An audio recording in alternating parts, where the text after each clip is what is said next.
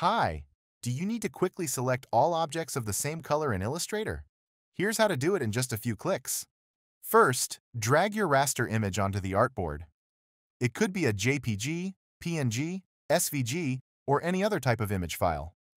If it's a raster image, you'll notice that under the Layers panel, it contains only a single item under the Layer 1 group.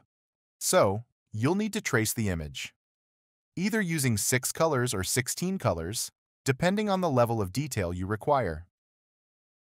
In this example, I'm going to use 6 colors. However, if your image is an SVG file, you don't need to trace it. Once the image trace is finished, click Expand. After expanding the traced image, you'll see that there are many vector shapes under the Layer 1 group. However, you still won't be able to edit individual shapes.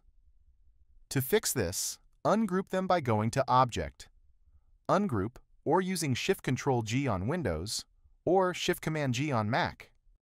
Next, activate the Selection tool. Select a sample color, then go to Select. Same, Fill Color. Now, all objects with the same color have been selected. To change the color, simply open the Fill Color picker, choose a new color, and apply it. And that's how you select all objects of the same color in Illustrator.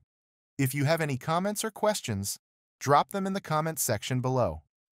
Don't forget to like and subscribe for more tutorials. Thanks for watching, and see you in the next video.